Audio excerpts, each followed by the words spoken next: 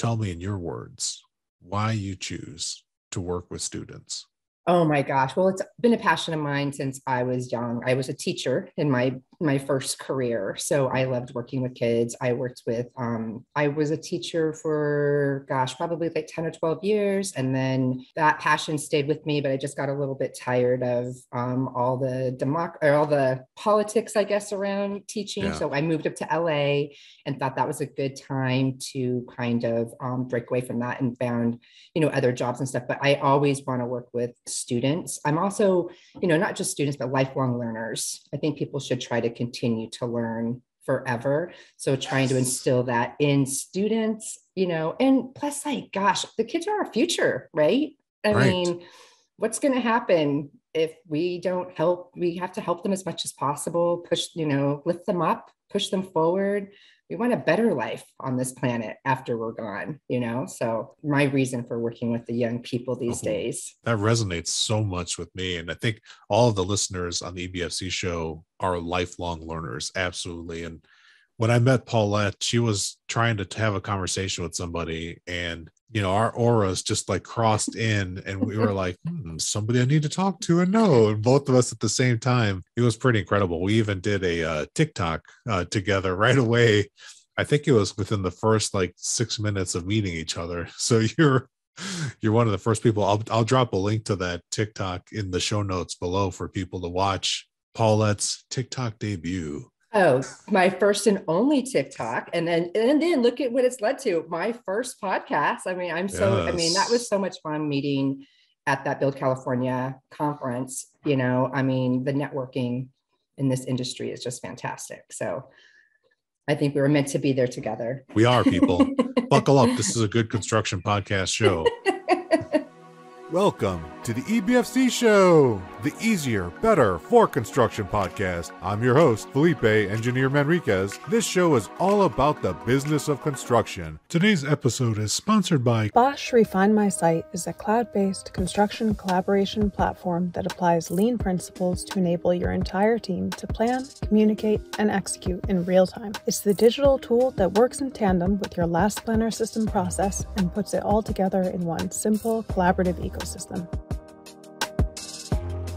This easy to use platform is available in English, German, Spanish, Portuguese, and French and can be used on desktops, tablets, and mobile devices.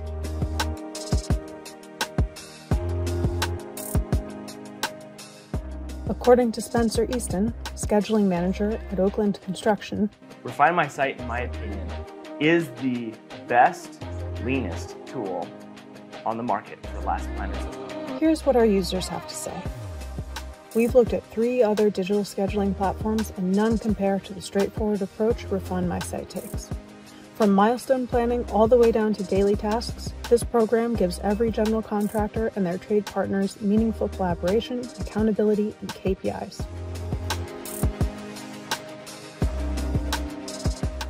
Register today to try Refine My Site for free for 60 days. Today's show is also sponsored by the Lean Construction Institute. LCI is working to lead the building industry in transforming its practices and culture. Its vision is to create a healthy and thriving industry that delivers outstanding project outcomes every time for everyone. Check the show notes for more information. Now, to the show. Welcome to the show, Paulette Dallas. Paulette, we are both lifelong learners. We were talking before the show got started and we have so many things in common and i and i tell i'll say it again that when i first met you just being close to you i knew that we were birds of a feather and we needed to flock together. So i am so happy to be a part of your debut first of many podcast episodes highlighting some of the amazing work you do with students filtering into and becoming future leaders in the construction industry via the ace mentoring program. Paulette welcome to the show Thank you for having me. This is very exciting. This is the most exciting Friday morning I've had all year. Yeah. And for people listening, it is the winter of 2023. California is being inundated by rain, and Paulette and I are safe and recording the show. And the as long as the internet continues to hold Paulette, we're going to be yes. fine. This this yes. is all going to the cloud, and I will snatch it from the cloud before the rain gets in my way uh, later today. please do. Yes, yes. Yeah. Could you please tell people about the work that you do with our construction future leaders, the future of our world, the legacy, the amazing young people, Paulette? Yeah. So I work for an organization called ACE Mentor program and I work for the national office. We are an organization that's been around for about 30 years.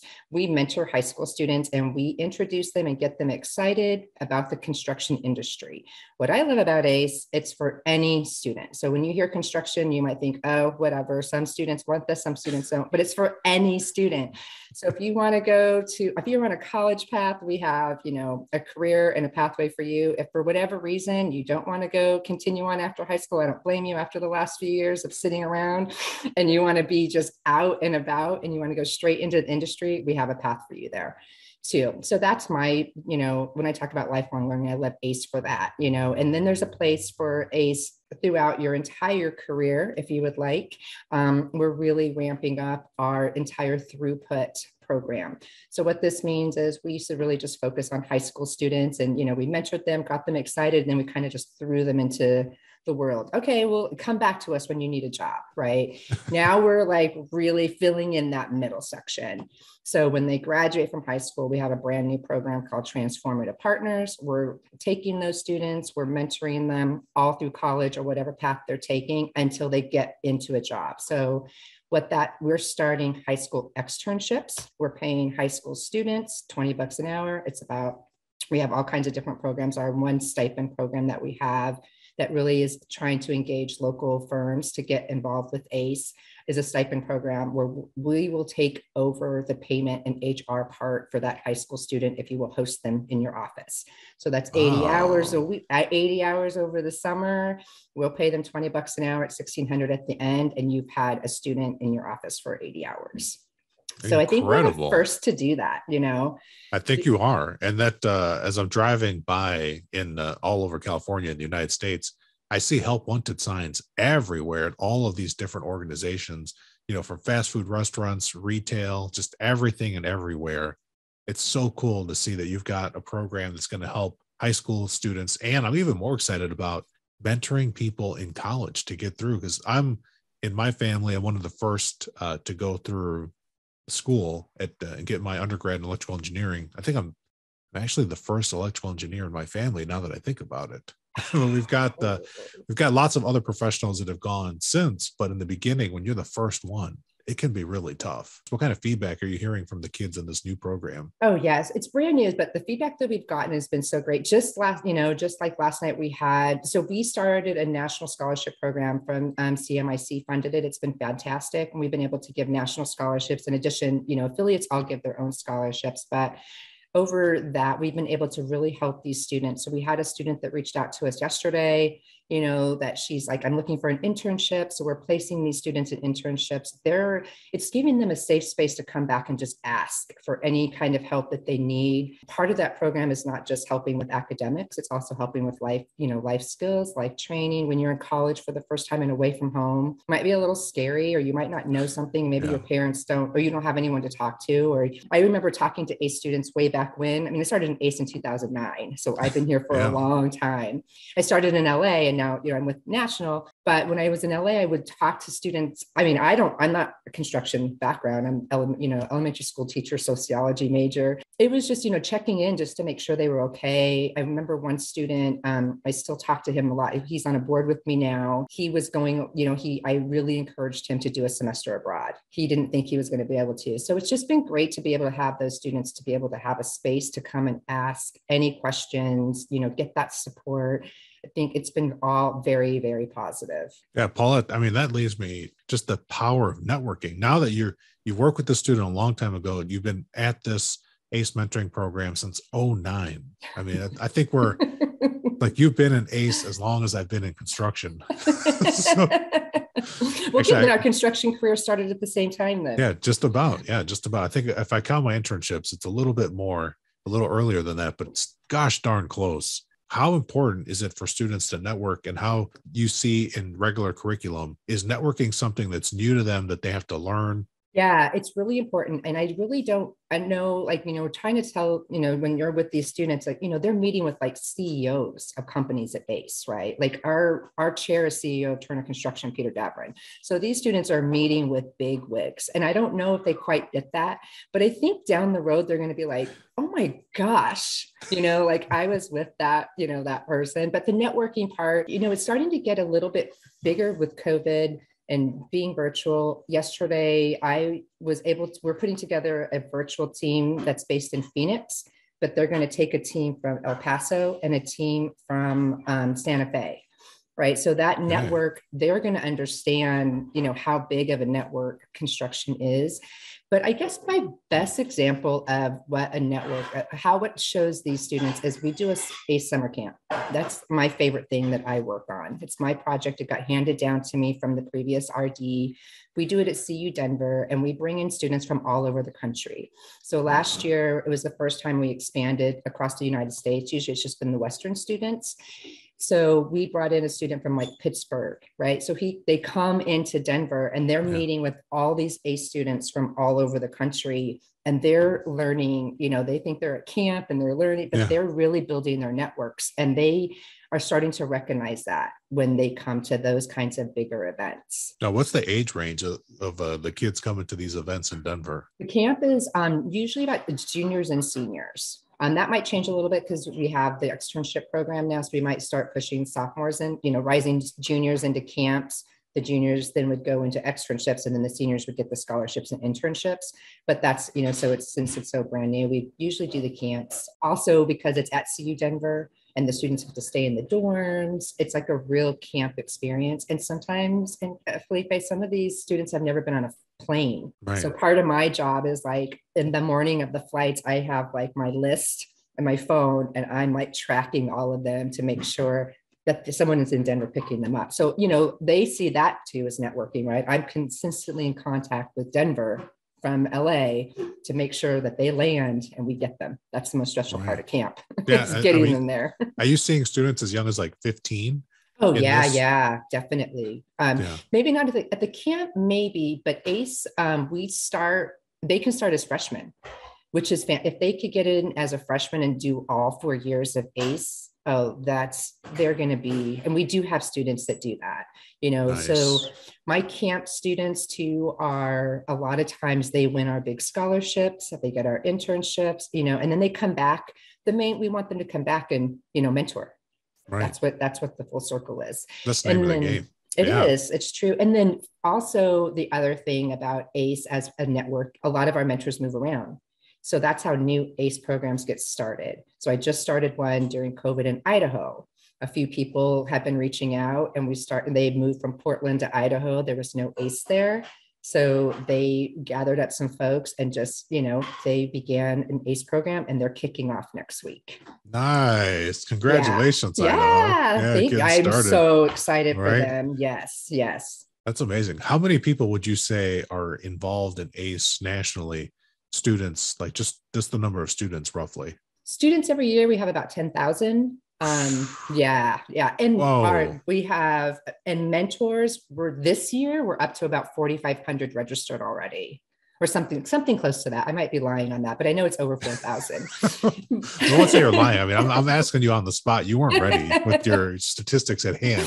I should have had my statistics right here. Yeah you're perfectly okay. And, and and you know i'm sure people listening that know these numbers cold can direct message us and give us the right numbers so we can comment the corrections as we go. But it's totally cool. Like yes. it's all part of the learning process.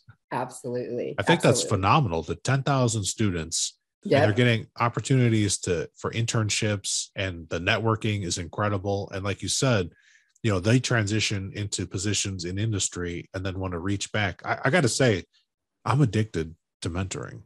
I find so much in it, Paulette. I've been a recipient of really good mentoring, and it has made so much difference when someone can show oh. you the ropes and the tools and to help you, and then you want to give back. Like I, I feel it right now. Like I want to give back. That's part of the reason why I do the show, is so that I can give back to even more people beyond what my calendar allows me to give back to. I love it. And, you know, also our networking, not just for the students, but, you know, for our mentors. It's like I met a, a mentor in Denver that she had moved from New York and she had mentored in a couple different places for ACE, but she landed in Denver and didn't have any friends there. So she reached out to ACE. And within that, she was able to make some new friends. And now her bestie and her are both at ACE and they've been there for, you know, 10 years. And wow. so I, I, love that you're interested yeah. in mentoring because, you know, we have an ACE in Sacramento. Yeah, come on, let's we, go. We need some folks on there. And you can get, you know, you get to, if you're, you have mentors, that's the ACE, you know, but helps with ACE, you know, the mentors, they're in the field, right, with the students. So they're picking the students as well.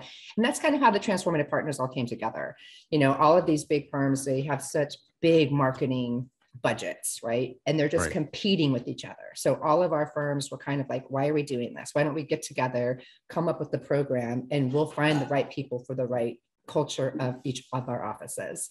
And so they're working together now so we're going to see how that goes felipe. It's going to be better. I think people yes. working together even competitors you know my philosophy paulette is that you know i think it's apropos especially right now with what the weather's doing rising tides raise all ships in the harbor. So yes. we're all get better together. We still have our competitive edges, you know, for the various different parts of pieces that makes us special. But why not all benefit and rise?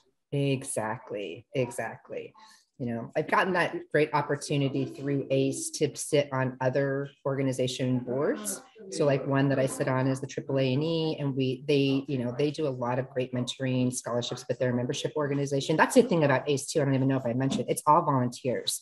So yeah. our, our you know our 4000 mentors it's volunteers. So they are um, volunteering within the field and they are you know they're there on their own time Right. So OT, as we call exactly. it. Yeah, OT. Yes.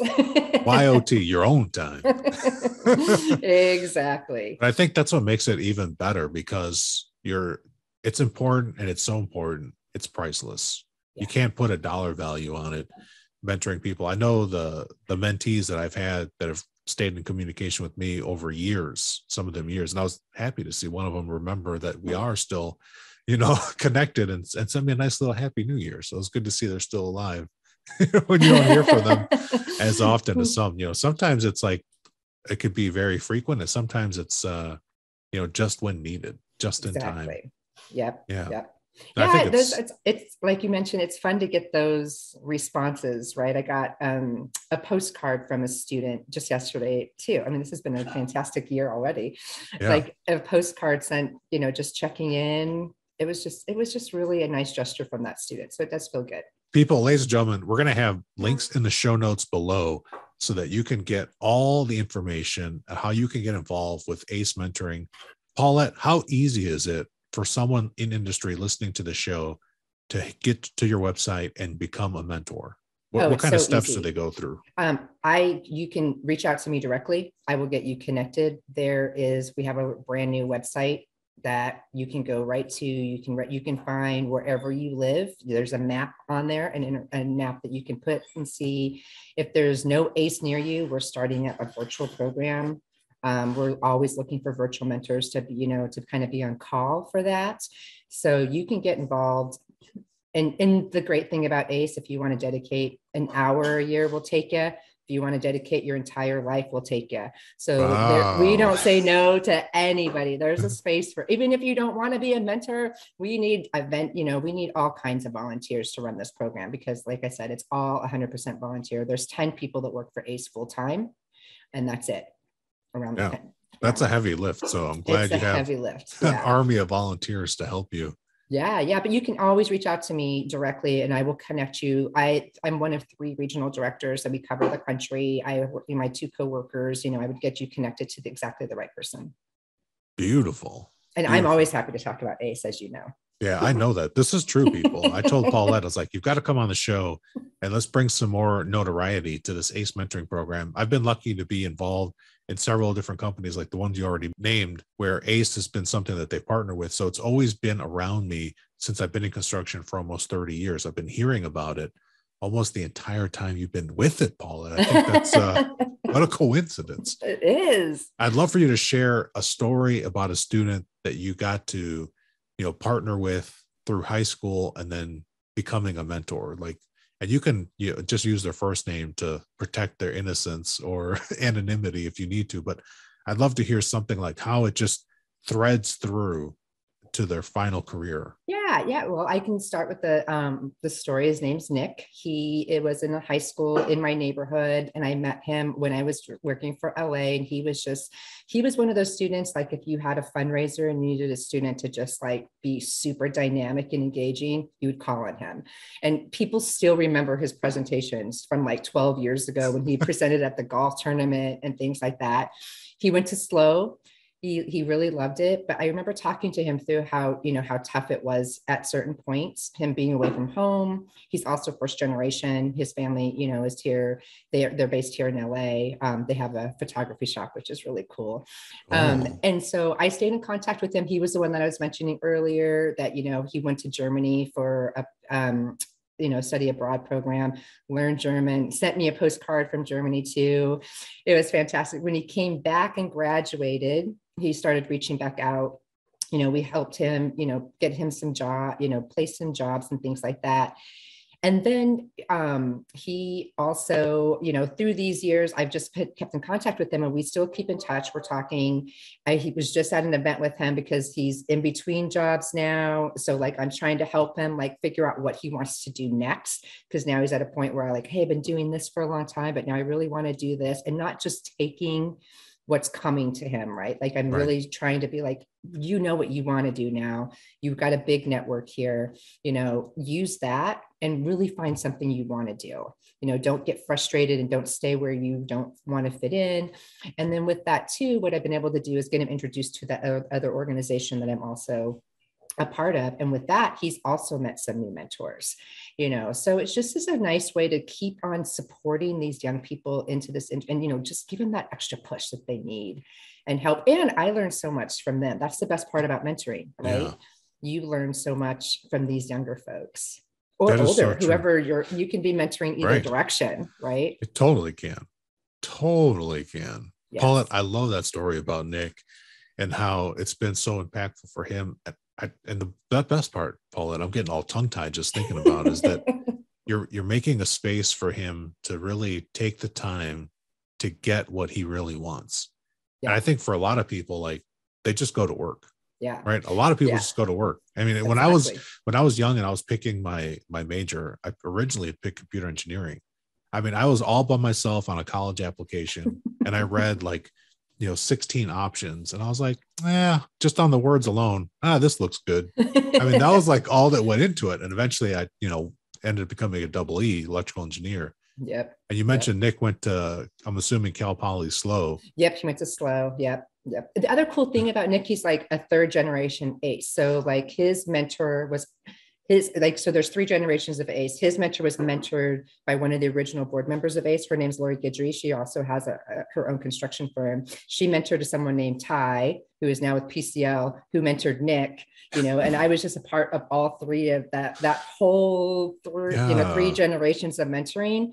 So it's been really fun to see that you know that that stack of generations of ace mentors. That's a long thread yeah. it's still pulling. And then, you know, who knows how many countless people Nick has helped. Oh, well, yeah, for sure. Like he's mentoring students. Yeah. So it even continues on. I'm trying to get him like, you know, really dialed into ACE. So we'll get him a new job first and then we'll get him back on. Get him. He go. is mentoring a little bit, but I was like, one step at a time. Go ahead. Yeah. We'll get you. Yeah. It's first. okay to, you know, get your, get yourself dialed in so it's easier to help when you're stable yes. and you're on a good solid foundation for sure it's hard to help when you feel like you're you know not your needs aren't being met necessarily as to the level that you used to. Exactly exactly. i think that's beautiful. Yeah people you know hit the links on the website and definitely dm paulette and connect with her. She is super easy to talk to. If you're not picking up these vibes right now how easy it is to chat. And we had a great time. We were in uh the what is it the palm desert we were, yeah, yeah. We were in the Palm Desert. There was no rain. Oh, Not a- beautiful out there. It oh, got oh, wait, windy It was kind of windy, right? Yeah. I was like right away, like at the same time, I was like, yeah, it got windy. Like one day I remember I opened up my car door and it almost like flipped out the other way. or pulled my hand. It was so windy. Like it gets windy in the desert, people. It does get windy in the desert. Yeah. We're not going to see any of that when we're hanging out in the LA area, right? Oh no, we're just going to be looking for some fancy coffee shops to meet in. My favorite thing, coffee shops and tacos in LA anytime. Oh, yeah. Maybe that's what we should do. Maybe we should go Oh, to 100%. tacos. Yeah. I started sure. watching uh over the holidays the Taco Chronicles on Netflix. Oh yeah, that's and I think they one. went to LA a couple of times. So Yep. there's definitely some places I want to hit out. Uh, there's like some birria taco shop in downtown LA, but uh, we don't need to venture that far. I'm sure we could find some some good stuff in the Oh, area. yeah. Oh, this is true. Like people in my family know, like I've been known, Paula, to drive over four hours for lunch.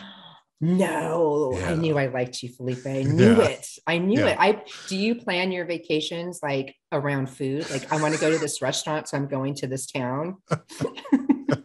I'm only laughing so hard because that is always the that's the like the unspoken plan. Like we'll go somewhere. Like we grew up in Chicago, which is a big Oh, foodie yeah, town. Yeah. yeah we love there's so many good places to go eat in the city and when we go we try to spend as much time with family and you know families like you need to eat here in the house and we're like yeah but there's like you're in the city like you know things that they take for granted because they live there every day Yep.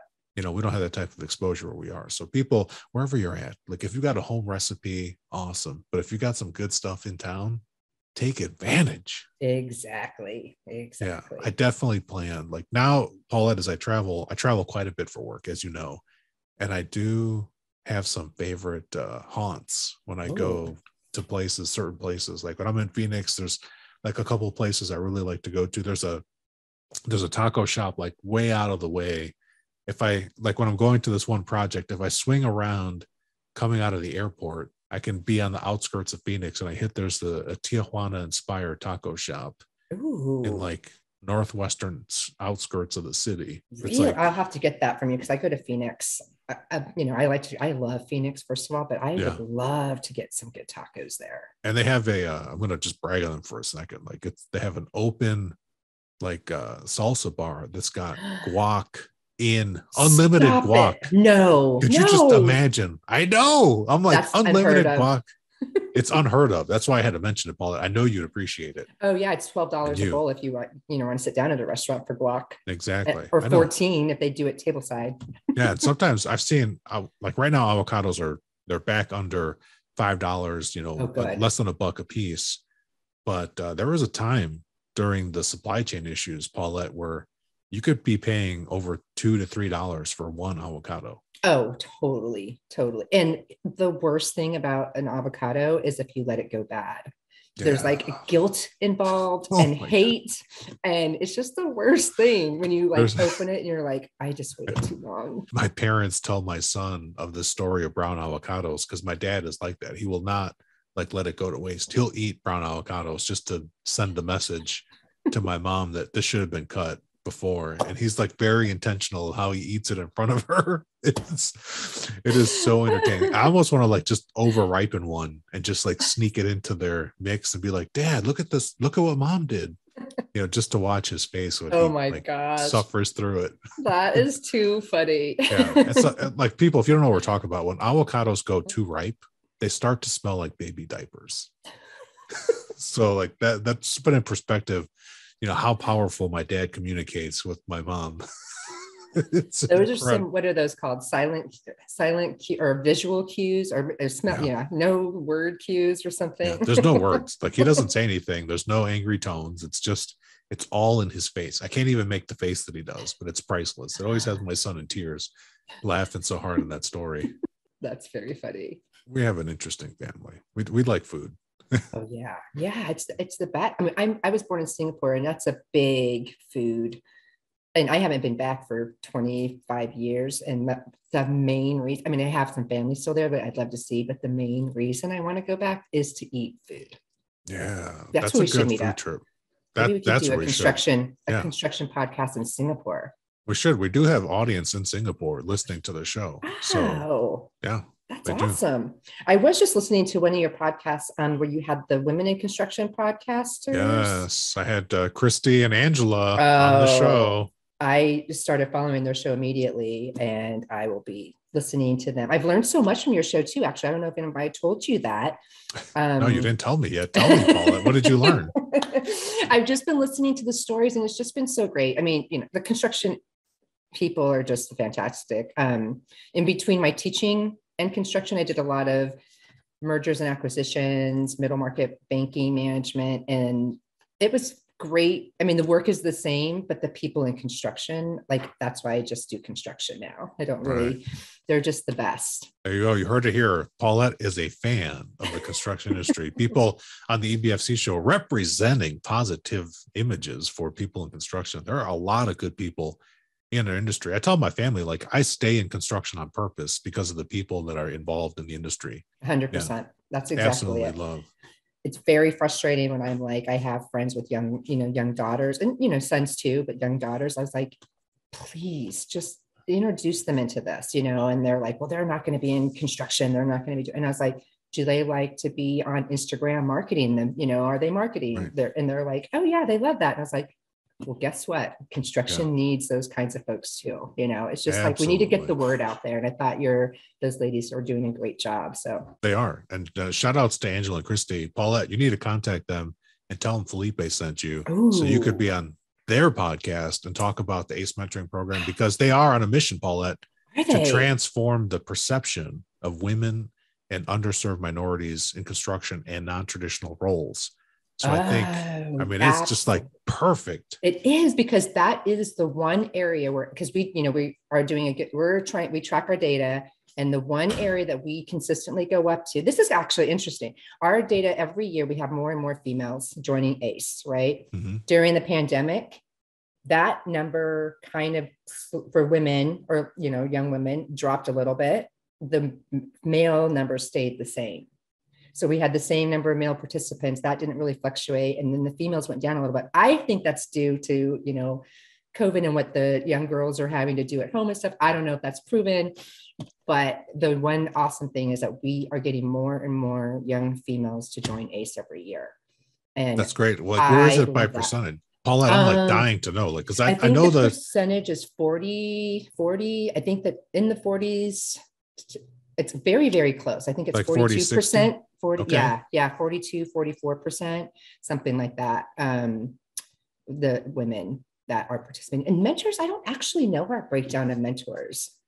That's I think that's good one. incredible. I mean, just on the, you know, where that benchmark is, starting with the high school students at, at over 40%, that's Yes. amazing. Yeah. In yes. construction in the United States, it's less than 9%. Yeah. Women make up less than nine. So we've and then got I to, heard from your podcast that 9%, a lot of it is not upper management.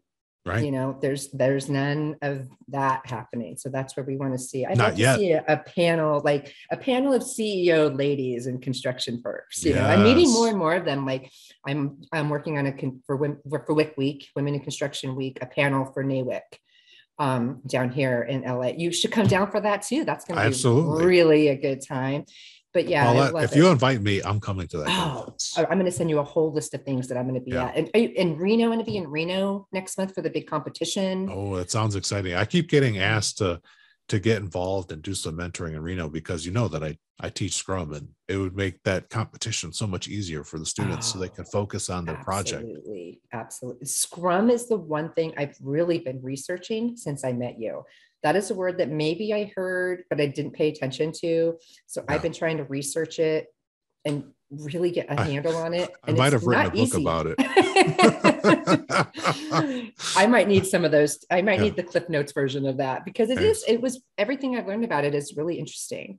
Paulette, you can read the first and what I consider the most interesting part of the book. I mean, I love the whole book, people. I wrote the whole book, but it's available for free on Audible. Uh, um, excuse me. Wow. The book is available for free on Amazon Kindle Unlimited. If you have an e-reader, you can you're subscribed to Kindle Unlimited, you can read it for free. Go to constructionscrum.com and see all the ways to read it. You could also read the first third of the book for free via PDF. That's Oh, on the website now. awesome. And newsflash, the audio version of the book is out, and I'll put a, a link in the show notes uh, where people can get that everywhere audiobooks are consumed. If you have a mentoring story, this is what I encourage people to do share your story on LinkedIn, social platforms. Wait, I wanted to go back to did you do your own recording for your audio Of course I did. And then I got asked, I was in the office and they said, uh, someone read my book in the office and they're like, but you have some female characters in the beginning of your book. Like, and I said, I know. And I did their voices. oh, I can't wait. So, I yeah. wait. I know a lot of people are like dying to hear, you know, what I did there. Uh, so you'll, fi- everyone listening, you'll find out soon enough. Well, it's Yeah. true. I, I listen to a lot of audiobooks and the reader makes a big difference. If it's a, a reader that you can't really listen to, I sometimes can't get all the way through a book. Yeah. know, if you so- like the, the sound of this and it's, I got to talk to the people helping me with the editing. Like maybe I was too excited when I read it because I was listening to it and I, I listen to a lot of audiobooks on 2x or 1.5 depending if, especially if i've already heard the book oh, really? the first time i'll go at like a 1.3 i almost never listen to anything at 1.0 because i need the reader to be exciting now there's there's one nonfiction no there's one fiction series of the witcher that i've listened to and the voice actor who does that is so good i listen to that at 1.0 really? But it's I'll the exception. that. Everything else is like 1.3 at the slowest.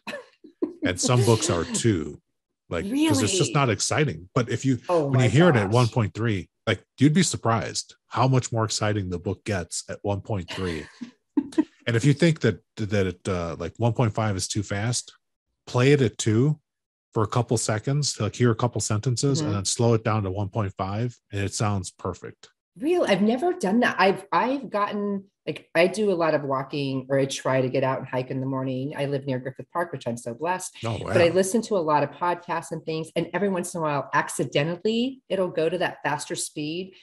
And like it almost gives me a little bit of anxiety. I like start walking faster, I start moving faster, and I'm like, Yeah. I never thought about getting settling into that and enjoying the excitement of the voices.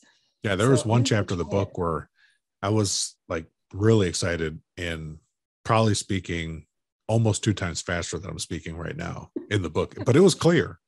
And I had uh, a friend listen to it and I said, Does this sound too fast? And they're like, No, that's how you get when you talk about Scrum. Would you call yourself like the Scrum King, Scrum Emperor? I actually just Scrum- call myself Scrum Master and Scrum Trainer. Oh yeah, I'm a- yeah. Scrum Passionado. Ooh, I love that. Yeah, love me some Scrum. And I tell people like I'm Love me some implementing it. Scrum. I do. I love me some Scrum. I'm doing Scrum all the time, Paulette, like in every part of my work. So, like, even where I work eh, for this general contractor company, the Boldt Company, ta-da, even there, everything I do runs through the Scrum process and framework.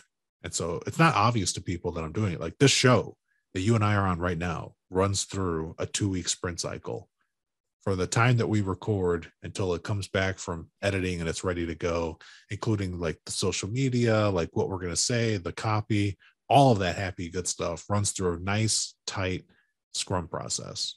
That's awesome. I'm gonna have to learn Yeah. a little bit more about this because I'm pretty sure we could use this. You know, we we tend to get very excited at ACE, um, and like I said, we're a small staff, right? So we get very excited and we want to do all of these things, and we're already all doing so much. Oh, yeah. But then something new comes on, and we're like, let's do it, let's do it. Yeah. You know, and so there's I- uh on my YouTube channel, Paulette, I recently recorded a section, a segment of the the recording I did for the AGC conference presentation Mm. on Scrum that I I want to say it's like three minutes long. And so I'll make sure I'll put a link in the show notes and I'll send you directly that YouTube video that you can start doing Scrum in less than three minutes. That's what I need it. I need it less than three minutes, and I can start implementing it right away. That You would can be start. Perfect. Yeah. That would be perfect. Speaking of that conference, I know you brought up the five different generations of communications in that podcast Yeah. too, which reminded me. Gordon, of- Gordon Fowler. I finally remembered his name, Paulette. I looked it up oh. after the show. It's Gordon Fowler, Gordon ladies and gentlemen. Yeah. So if you're so fascinating. It was just so, I mean, so much of it was good. I would love to hear him again because I'm sure every time you probably pick up different things, you know, Yeah. that he is talking about, or someone else that talks about that. But I, that really opened up my eyes and actually helped me because we are a staff that's spread out through, I mean, we have, you know, we have 20 somethings up to 60 somethings on our Yeah, staff. you've got the whole mix. We have it all, right? And we are trying to just do it one way. And I'm trying to be like, no, after that, I was like, oh, no wonder if this doesn't make sense to our my coworker, you know, Yep. trying to tweak how I communicate and stuff like that too. See, lifelong learner, always trying to learn. Same. And you know, the funny thing is, like, once I heard his speech and I thought more about like my generation, Generation X, I have like started The best one. I'm glad you said I gotta. You know what, Paulette? You know when you, you do good stuff like that, you get the bell. Thank you. Yeah. Gen Gen X is the best one. Sorry, sorry, Gen Z. That's a that's a slight right. I have high hopes for Gen Z, but Gen X. you Yeah, know, and course I'm sorry, have to say that. boomers. Yeah, it's like Boomers, they're cute.